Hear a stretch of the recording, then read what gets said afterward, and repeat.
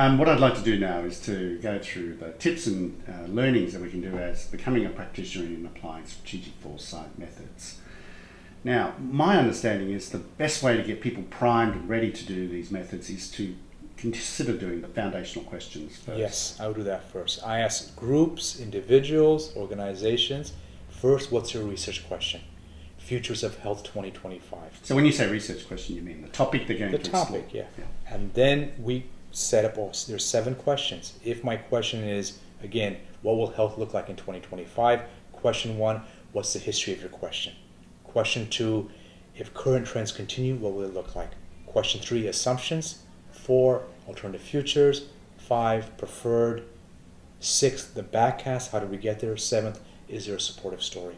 So these questions prime people, they get them going, they have to have tough questions around assumptions, and they get to articulate their preferred futures. Now, I know my, myself in using these as a priming sort of process. I've done a pre the workshop and post, or during within the workshop, right at the beginning. And to some degree, I think their value is is they, they give us a sort of a line in the sand where our thinking is. Yes. Is that what you mean? Yeah, and you can test it. What I say is, well, the methods may be a bit difficult. Go out and try the seven questions with your staff, with your friends. Run them through it. Make it real. With your family. With your family. Do an action learning project. Okay, what I'd like to do now is to help prepare someone to uh, move into using this as a, a, a leader or as a practitioner or as a manager. How can I start developing my foresight practice? Yeah, I would start start with mapping. Okay. So you've done the questions. Now you ask yourself, use the futures triangle. It has three parts. What is the preferred image of the future? What does it look like? What is the characteristics? One. Second, what are the drivers pushing towards there? Third, what are the weights? That gives you a great map of the future. Futures triangle is easy. Everyone can do it.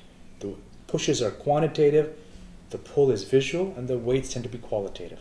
Okay, so really then the foundational questions can actually help populate the futures triangle or make sense of Yes, brilliant. Yeah, yeah. Okay, wonderful. So let me see, I'm facilitating a workshop. Yeah. Uh, I get people around the room, we clarify what the research topic is we're Yes. going to explore, and when then we give people some paper and creatively they go and work out what is the push, pull, and weights of that subject. Then I have them act it out sometimes. Ah, so now it comes to the reporting side. Yeah, yeah. So that They may do a skit. They may do an interview.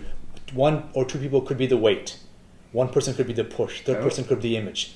So then they might do a little drama or a skit, some way to embody it. One of the things I've noticed in, uh, in workshops is that there's this strong sense to have a balanced triangle, but it's rarely ever balanced, is it? No. Some places the weights may be more. We did one workshop on person centered healthcare.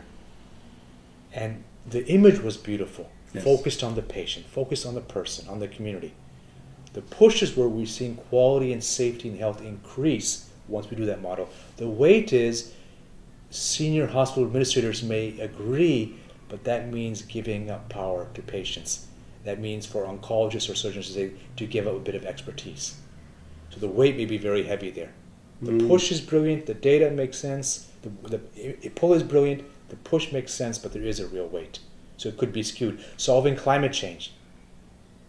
We can see a sustainable future. We know the pushes, but there's still weight around the industrial era. The way we've been behaving as society. Exactly. So that leads then, are there some questions we could ask as a facilitator to critique or analyse or synthesise the results from the triangle? Well, I would I would say, given the triangle, what are the key messages? Do you find a way to lighten the weights, or you decide there's a huge wave of pushings pushes coming on? Let me write it, or you decide no one actually gets where we're going. We need to make the vision compelling. We need to tell a better story. Or we, our vision is no longer relevant or Yes. maybe we don't have one? Yeah, yeah, Okay, so it's very easy then you can start to decide where you intervene, yes, where you may build strategy around to Yes. address some of the more uh, discerning or concerning issues of which push, pull, or weights. And there may be messages that you can decide here's the message that needs to be communicated to all our staff or stakeholders. Now, one of the other questions that's come up for me by participants who've done the futures triangle is they, they notice then there's a range of images. Yes. Images become more explicit, but they tend to compare and contrast. There's two ways to do it. One is to say, what is my preferred image? What's my preferred future? You get one type of triangle. The second is, what are the competing images? Ah. Sustainability versus industrial versus a high tech, robotic, artificial intelligence future. Because I've had another practitioner say to me, but Steve, is the futures triangle when we ask for the pools really about trying to get our forecasts or our desired or preferences? You could do it, it's two different ways. Just be clear how you're going to use it. Okay, so you need to be clear whether it's Yeah. forecasts or preferences Yes, as images. yes. I also noticed then it does make for a rich discussion when you start seeing the competing images. Yes. And for each of those images, there's a weight and, uh, and Yes. a Yeah. If, if you if your preferred future is more industrialization, what's the weight? The weight is climate change. The weight is pollution. The weight is silos. Mm. The weight is young people not wanting that future. Mm. The push may be money. So foundational questions lead us, prime us to be able to do the first mapping of our Yes. plausible You future. start the six pillars process. That might bring some insight in terms of what is our foresight approach, what's our capacity in foresight, or what are our limitations. So, Brilliant. can you tell us now a bit more on the second method of mapping? That's really the future's landscape.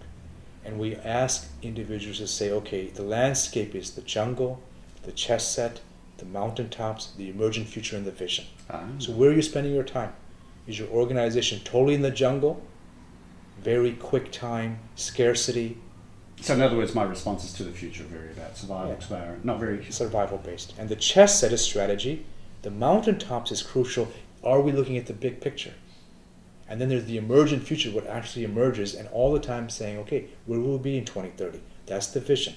So you want to be able to understand where you are in the landscape, and do you have a landscape? And by understanding where you are in the landscape, what does that mean potentially? Well, you could decide, well, we're spending too much time in the jungle. How come we've not done a visioning part? How Ah. come we've not done scenarios? Or our foresight is very short term, Exactly. not really long term, yeah. or not a combination of both. Or some groups, they're all the time in the vision, and they're not in the. They don't have anything about data, reality. So they're not really grounded in pragmatism, trying to make Exactly, yeah. alignment between vision and No action. strategy. Always in the clouds, no strategy. Futures landscape is almost an auditing, an auditing tool. So the key message then in understanding where you are in the landscape helps you to adapt where you may be able to expand your foresight Brilliant. approaches. Yes. Okay. So the pillar of mapping, two key methods supported by the foundational questions. Yes.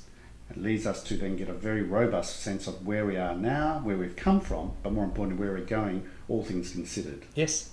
Okay. Thank you for um, expanding on the two methods on the pillar of mapping. Yeah.